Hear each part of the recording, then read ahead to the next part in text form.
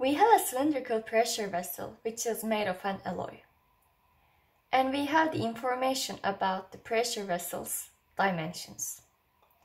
In part A, our goal is to determine the pressure which will cause fatigue failure in 10 to the power of 5 cycles when it is repeatedly applied.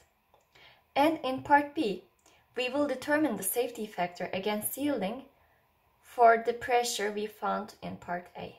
Since this is a multi-axial fatigue problem, we should first find equivalent stresses from the stress amplitude and the mean stress. And then we will map these stresses and using the Basquin equation, we will solve the problem.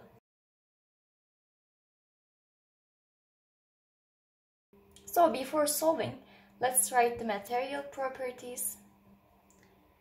Again from table 9.1.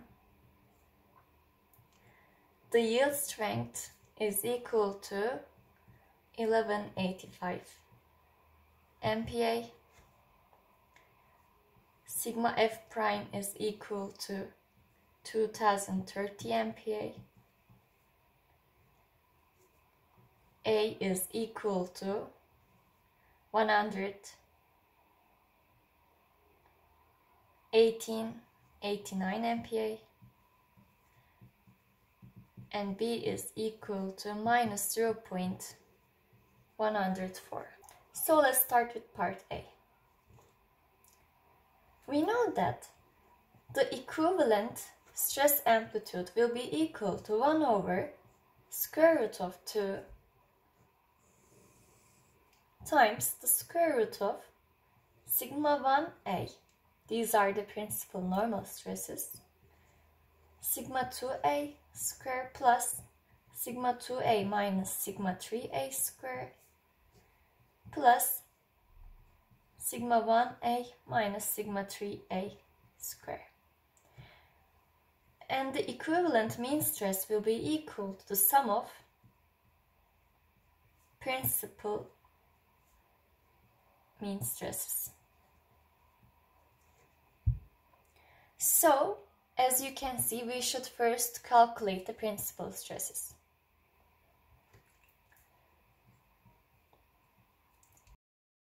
On the vessel, we will have a stress sigma x.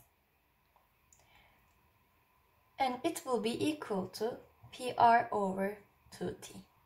We will also have a sigma theta, which will be PR over T. And finally, we will have sigma R, which is minus P. We know that sigma 1a is equal to sigma x over 2, which is when we substitute the values, the pressure times radius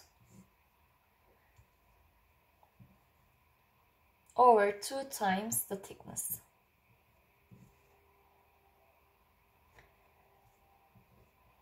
Sigma 2a will be equal to sigma theta over 2 and when we substitute the values it will be p times 125 millimeters over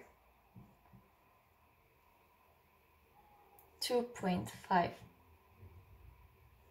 millimeters times 2. And finally, sigma 3a will be equal to sigma r which is minus p.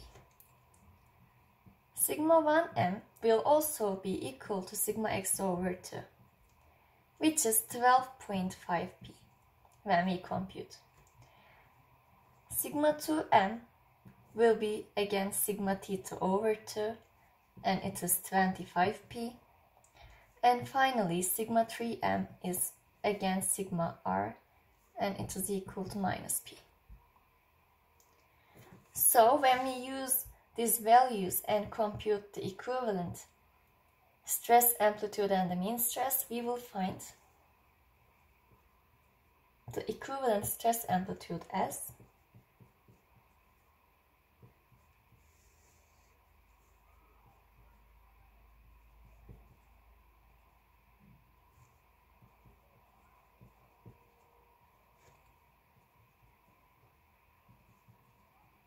which will be equal to 22.52 p and the equivalent mean stress will be 36.5 p. We can use SWT equation. We know that according to this equation, sigma AR will be equal to sigma max times sigma A. And in our case, it will be equal to the equivalent mean stress plus the equivalent stress amplitude times the equivalent stress amplitude. And finally, we will find sigma AR as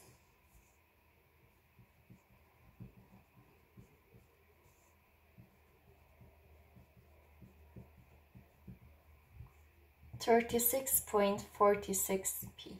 Now we can use the Basquin equation. 36.46p will be equal to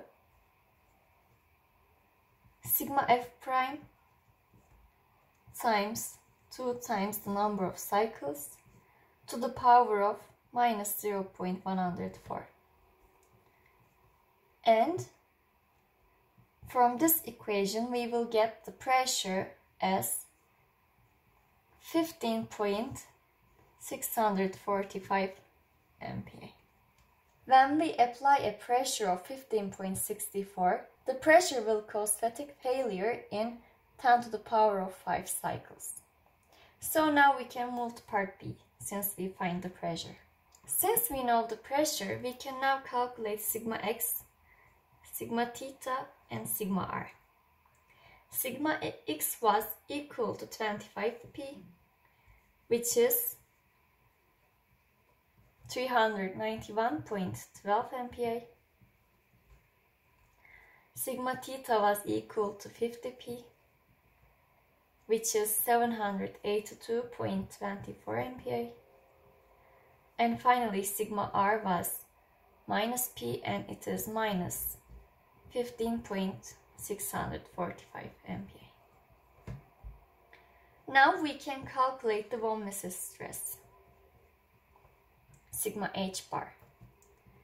We know that it is 1 over square root of 2 times the square root of sigma x minus sigma theta square plus sigma x minus sigma r square plus sigma theta minus sigma r square.